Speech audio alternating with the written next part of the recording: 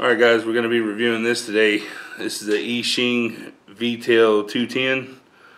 Uh, first off, I've had a slight bad turn of events with this quad. Uh, flies well, but there was something wrong with it whenever I had it, uh, whenever I first got it. I had to go in and reprogram some things. Number one, the GPS went bad. The uh, FPV, FPV, something was wrong with it. But anyways, let's go ahead and get into it. Uh, 2300 kV motors. This thing will get after it. It's a well performance quad right here. Carbon fiber frame, 1080p camera. You'll see right here. Also, your SD card goes in behind this ribbon cable right here, and which is kind of a tough design because uh, you got you got to stretch the ribbon cable pretty good. But it does come with another one. You can see I've already banged up the leg on it. I had a little issue whenever I first got it. Also comes with the Eachine i6. Real quick, shift throttle lock. It's a safety deal. Uh, acro mode, beginner mode. For some reason, it's a little backwards. This year rates. Uh, good controller right here. Uh, you can program it to about anything. Uh, you get a 1500 milliamp 4S. Flight time uh, around 10 to 15 minutes, depending on your burst. Uh, pros about this, yes, it is fast. Uh, cons, I mean, it's just like any any new quad you get. The thing about this V-tail right here, if you can see that, this thing whips and kicks so hard. I mean, this thing will come at you pretty much. I mean, the direction is like this. I mean, this thing, it's a, it's a hard runner, man. Uh, you have to go in a Cleanflight. You got your plug-in right here. If you can see that right there. And then uh, this one over here, I'm not positive on what it's for. Uh, this thing's working with some good, uh, good components. Uh, 20 amp uh, ESCs. This thing will get after it. Uh, not a beginner quad, for sure. Uh, I'm not the best, but this one right here, I mean, it's uh, it's awesome though. And we get, uh, we will be taking out for a flight, not for the day we're grounded. We got some pretty high gusts. I don't want to get this thing all banged up worse than what it is. The antenna here, I had a little problem with the antenna. The antenna pulled out. I just frayed it out. I'm gonna get an, uh, another antenna for it for the FPV.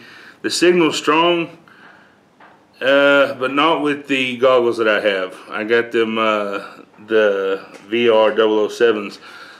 They're, like I said in that review, they're good indoor flight, not really for what you need for this. Uh, another bad thing about this, whenever you do get and your rates high and you hammer it, you got a lot of isolation. Uh, on the automotive side, uh, you're banging out. It's got a lot of, like, uh, it's not letting it get full potential as if it's, like, missing. Uh, trying to sum it up is, you know, for you viewers who don't know what I'm talking about. Uh, but other than that, this is pretty durable because I've, uh, well, whenever I first got it, I thought it was all in tune took it up for a flight, and boy, I smacked a bunch of bunch of things. But uh, overall, it's a good buy. I'll put a link in the description. If you're not sure about operating one of these, I mean, you can get it, but don't throw your money away. This is more of the uh, the higher skilled pilots. Uh, also, these blades. Talk about these blades for a second. Uh, I don't like them. I think it needs a tri-blade on it, but and also don't like the edge on them. You really can't see it, but this thing messed up. I caught it out of the air, but the motors are powered down. These blades are so sharp, they just impaled my hand, my palm, which I got pretty big, thick hands. So uh, yeah, it can hurt you. And but for the most part, awesome quad. And also, if you look right up, let me see if I can get a shot of it. Right up in there is the DVR. It's got a built-in DVR, 1080p camera. You don't really see a whole lot of vibration. It's got a rubber mount deal on here. As you can see, I'm shaking it around. Uh, records good video. Uh, also with the flight, whenever I do the flight review on it, I will uh, put that into the, you'll see what I'm talking about. Let me go ahead and power this on so you can see everything work on here.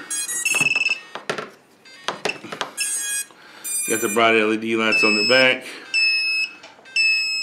This thing is awesome.